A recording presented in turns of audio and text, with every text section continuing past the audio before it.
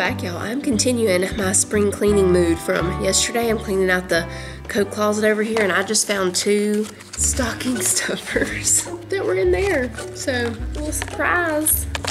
I found my strawberry truck. I never found my Valentine's Day stuff yesterday because I didn't tackle this closet, and I'm pretty sure that's where everything is. I really want to bring out my lemon stuff, but I'll wait until about March or April for that. I have this little You Are Loved sign.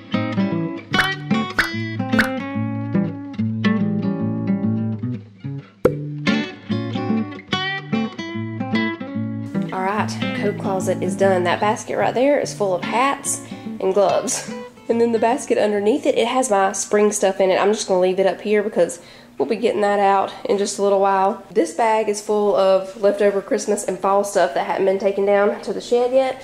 I left my little fox's head sticking out so I would know it wasn't trash. It's locked right now though, and Titus has the key, so when he gets home, I'll send one of the boys to take that down for me. And I did find some of the Valentine's Day stuff. The rest of it must be in my closet or either down at the shed. I don't know though. I don't remember taking any Valentine's Day stuff down there. But anyway, I'm going to go ahead and put these three over here at the hot cocoa coffee station. I'm going to put up Mr. Gingerbread Man and we're going to put up hot cocoa served daily. And I think I'm, I'm going to leave this one out for a little bit longer. It just looks wintry. It still has some battery left. The kids put this game over here. They like to play it sometimes while they're waiting on breakfast or supper. This just has some cocoa things in it. This still has some hot cocoa in it. I'll just leave it until they finish up that hot cocoa. The mugs. I think I'm just going to turn around the snowmen. You know, just turn them around and then they just look like little red, red handled mugs over here. Yeah, that's what we'll do. And then this is empty, so we'll go ahead and take this out. There's a little cocoa. Put it over here. We'll put this here. Cute. And I think I'll just leave that like it is. We'll put this Love Makes a House a Home in front of the little hot cocoa things. Let me fix my lights here. And then I'm gonna scoot this over here and we'll put this there. And I'll put their little game back right there.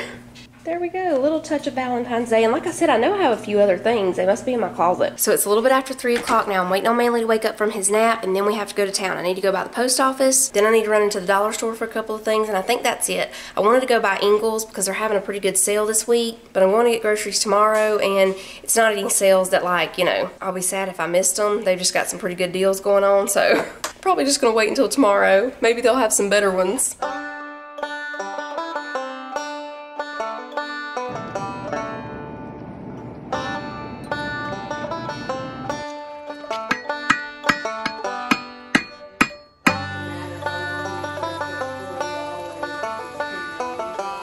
Yes, ma'am. What I do with horses that don't like to be nailed up is, uh, like I just did right then, I'll go one, two, three, and I won't hit that last lick. Yeah, It's usually the metal on metal that they don't like. yeah. So I'll just go like that, and I don't hit that last lick. What, and I do it at the very end.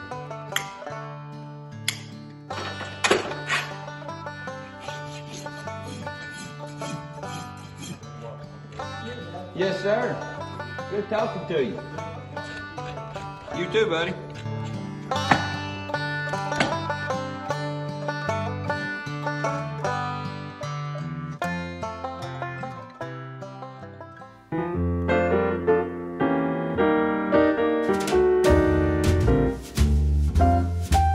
Yes. We got lots of loves. you want to see a squishy love? Squish it.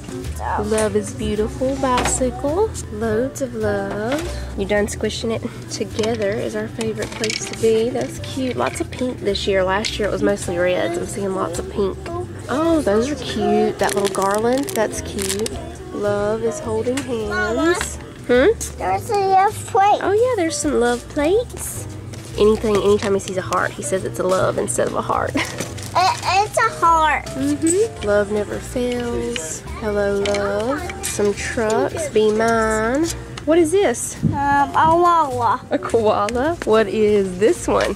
Mm, a panda?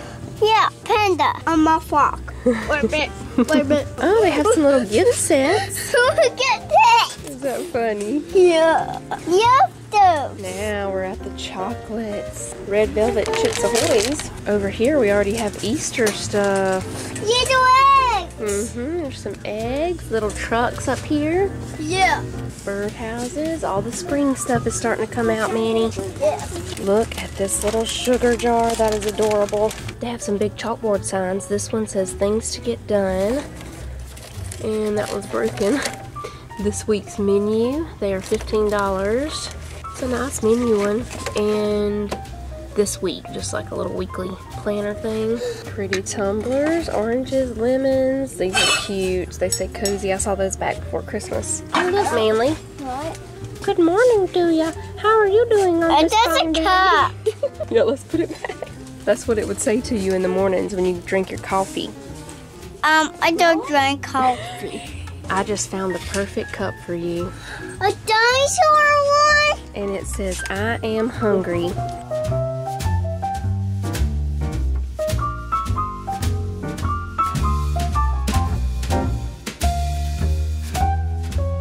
All right, y'all, we're back home. I'm gonna go ahead and get supper started. We're making a rotini bake tonight.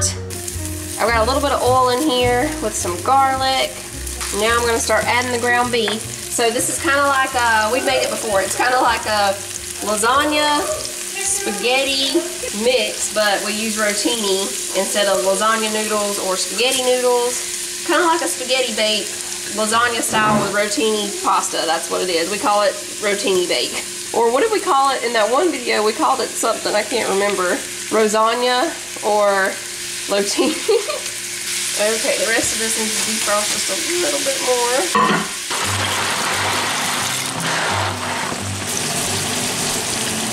Okay, while that's cooking, we're gonna make some cheesy garlic toast over here.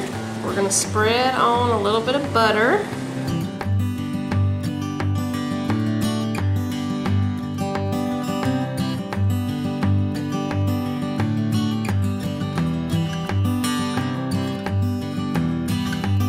We're gonna put some garlic powder. I'm hungry. You hungry? Yeah. Now, I just have a little bit of shredded mozzarella that I'm gonna put on top of the rotini bake. So we're gonna use these mozzarella slices for the cheesy toast. And for three of them, we're gonna use pepper jack. Oh, good. We're still putting some parsley flakes on top. And then these will just go in the oven under the broiler.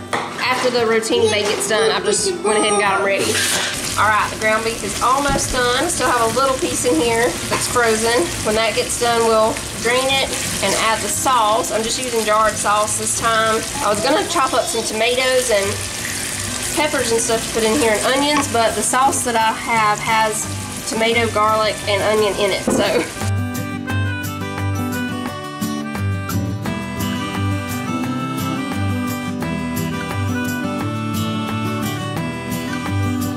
Okay, so we're gonna let this come to a simmer. I'm gonna go ahead and drain the pasta. Okay, we're putting in two beaten eggs with the pasta. Mix those all around. And this whole container of ricotta cheese. It's 15 ounces. Is everybody ready for the ricotta plop? What's that? that. so this is a little different. I can't even remember if we made it this way last time or not, but we're mixing the cheese and egg mixture with the rotini pasta instead of doing it in layers. We're also gonna add the meat mixture in here too in a minute. So it's gonna be all mixed together and then just have a little cheese on top. I'm gonna put some garlic powder in here and parsley. Now the meat mixture. Now we'll mix this all together and we're gonna pour it into a 9 by 13 casserole dish. Put some mozzarella cheese on top. I did have a little bit for this, but not enough for the cheesy toast. We're gonna cover it with foil and it goes in the oven for about 35 minutes.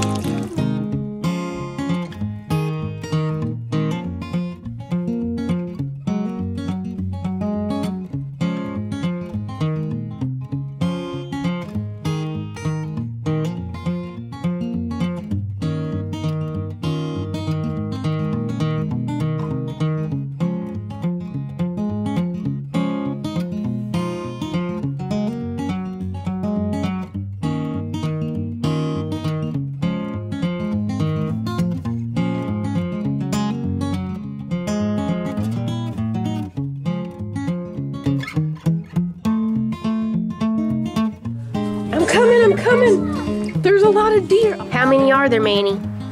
One, two, Okay, let's go three. Gonna be a clear night tonight, Jonah. Telescope's already set up and ready on the back porch.